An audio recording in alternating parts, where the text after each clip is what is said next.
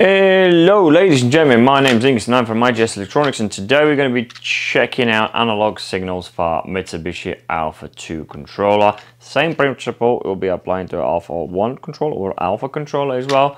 And have a look at how they are wired, how they actually work and uh, for our testing today, we're going to be using these kind of temperature uh, modules that you can buy uh, for the controller. It's got a lot of uh, additional cards that you can have, but sort of to give you a good principle of how that works will be a I'll be using these uh, for it because the analog inputs for these controllers are 0 to 10 volts and, and it pretty much automatically works as soon as it detects the voltage. So as soon as the voltage goes past, I think it's 15 volts something it classed as a digital input.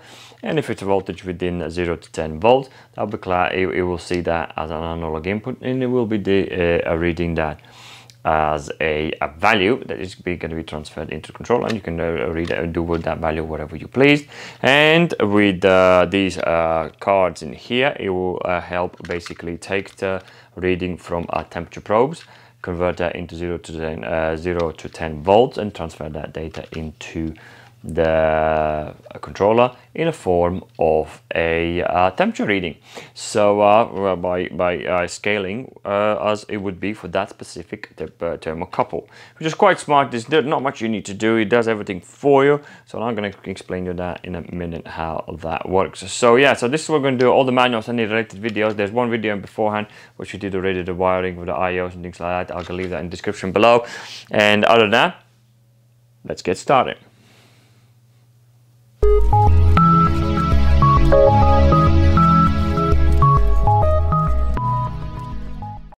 Are, all wired in, ready to go. So this is our temperature probe in here, as you can do. Woo. This is a PT100 temperature probe, which is wired in L1 uh, plus, l or 1 minus, and then we have an I uh, one minus. And there you can have two probes if you wish. The red one, usually usually PT100 probes comes with red and two blue wires. So red goes in there and then two blue wires uh, goes in through uh, in uh, there. So uh, in L uh, L1 minus and I1 minus. So this guy in here, I do I don't really fully understand why that is there, but I believe this is for the scaling and for the temperature range you're working within. Standard is, is, is the resistance in this guy in here that if you want to range it differently I do believe you can do use this uh, uh, uh, what's it what's it called? The jumpers in here so to adjust it to what ranges you are working within. So I believe that's what that, that's what it's for. I'm pretty confident that that is the case.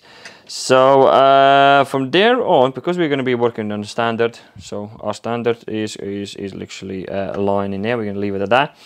From there on, E converts that signal is coming from this uh, temperature probe, resistance E converts that into a voltage. So you can see in here, now the card is powered up already. So here we are, there's a meter down here. So what we can do in here, we're going to put the signal, uh, the probes on here. As you can see, probably not. Uh, as you can see, I have 3.302 volts. This is very fine voltage going on. So let me put my hand on this, you see. So now voltage starts going up because the resistance in the probe is changing. So that's pretty much what is happening there. And it takes that value and it sends it into whatever you have, uh, whichever uh, input you have chose to.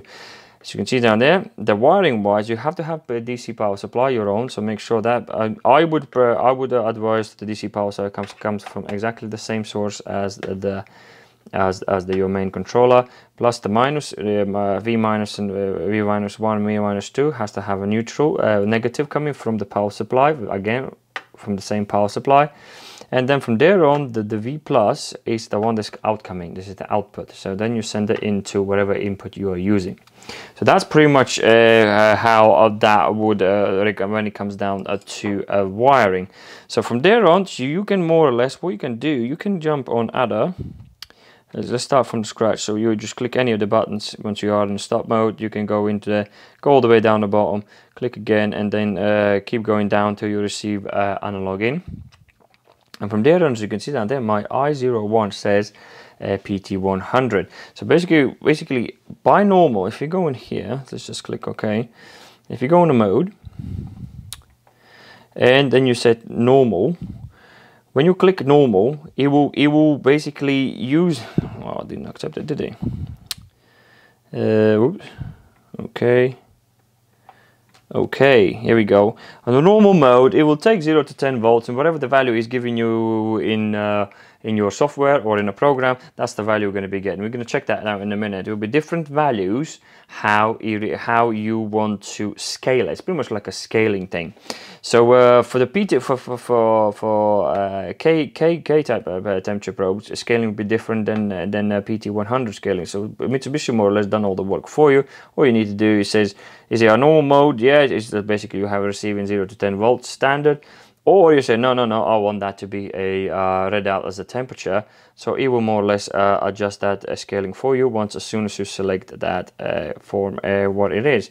So then in here you can go and offset. If your uh, reading is out basically you need to use some form of a other probe which you can test what temperature actually is and check on your screen which you're going to show in a minute. Is it is it matching this guy as well? If it doesn't you can fine tune it in here get it down to the exactly where it needs to be and from that point it will be a more or less taken to the, readings uh, correctly.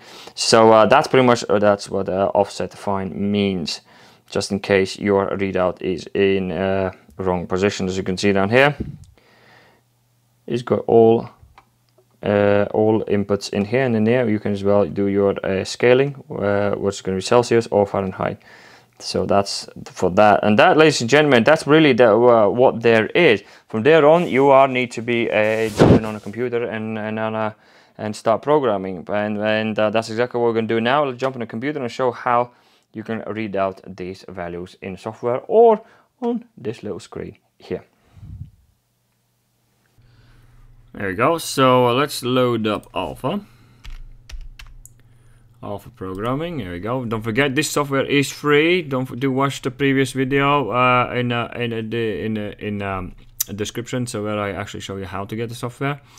So let's start a new project. Ours is 15. ALJ is 2. Uh, there we go. So there we go. So uh, it's actually quite straightforward. So what we're going to do in here, because we are reading our PT100, so might as well choose that one and put that in here. So now, just before we get any other programming going on, so uh, once we a uh, uh, go for the controller and uh, write to controller and uh, COM port is incorrect, so let's go for a manager, device manager, and check out what COM file because I am using a serial uh, bridge, so converter, so as COM4 4 uh, configure it. So let's change that to 4 there we go. So and, and now write to controller. So we're gonna do we're gonna run start as well. So there you go. So uh, as you can see here's the value.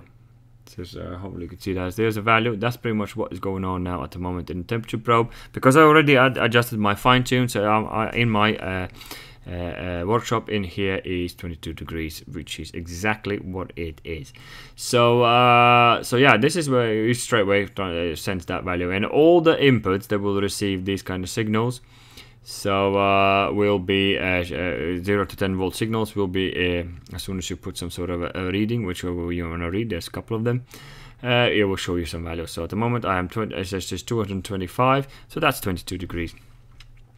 So uh, let's leave that. So so we uh, so we create a little bit of small program. So what we could do in here, we're gonna go and find a display. We're gonna we want that temperature to be. This value. Let's say we want that value uh, be displayed. No, it's not in here. It's in the function blocks, isn't it? So just keep going down. Find. Here we go. Display let's put a display in here. So we're gonna say send this data into display in here and we need to sort of activate the v01 display. And what we're gonna do in here because my input's been wired into 678 is it? Let's have a look at it. 678 so we're gonna use our little input station to activate the DAT screen so we can see that value so uh, let's go for the inputs and then go back on the top. Grab, ah, that'll do. Uh, switch, switch, let's go for functions, grab a set reset, why not? And then let's say set with this switch and reset with, ooh,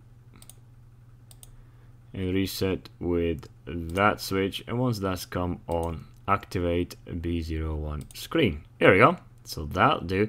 And that's pretty much what we need to, this is pretty much just a program which we're going to be creating so this video doesn't drag on.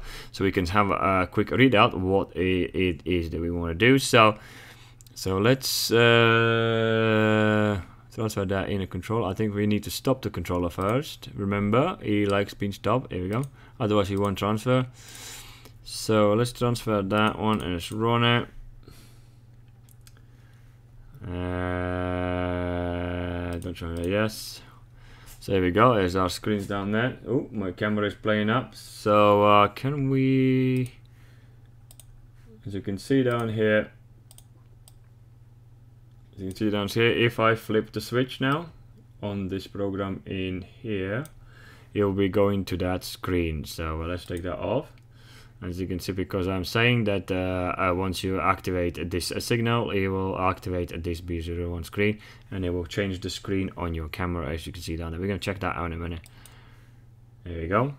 And there we go. So that's what that will do again when it comes to programming. Guys there's so much more from there on. You can take this information from this readouts in here and you can do a whole load there's a whole lot of things you can do. It all depends on what you want to do with it and things like that. So that will do for that. So let's jump back up on our a uh, uh, camera and see uh, what happens if you change uh, the sort of uh, translation of uh, these analog signals differently.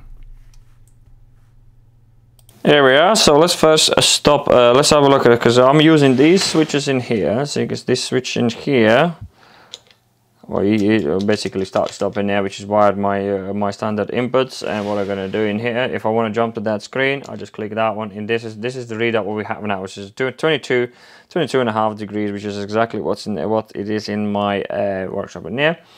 And where's that probe in there? As you can see, the probe in here. We put the hand on it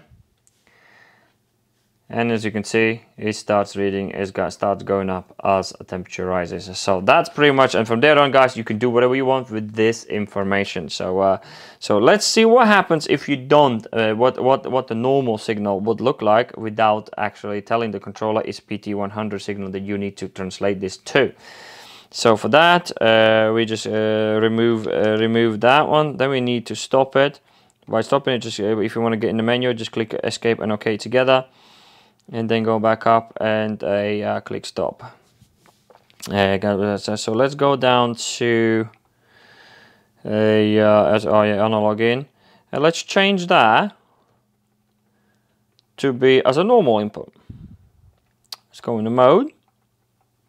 It's like a normal standard 0 to 10 volts. Okay, and let's escape, let's escape, let's escape. So, and, uh, and uh, oh yeah, we need to uh, put in run mode, don't we? Then put in run mode. Here we go. So, and a, uh, let's put our screen, as you can see, that is read out as 70, 172. It's absolutely different, different reading. So it's scaled differently. So, uh, so do make sure, whichever card you're working in here, or whatever values you're working with, to make sure there is a help for temperature controls. But for everything else, you'll be standard 0 to 10 volts. And these are the values you're going to be able to work with.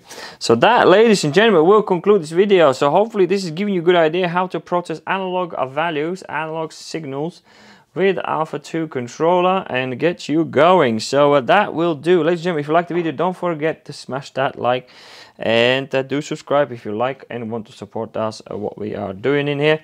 So yeah, so thank you very much for watching and I will see you in the next video.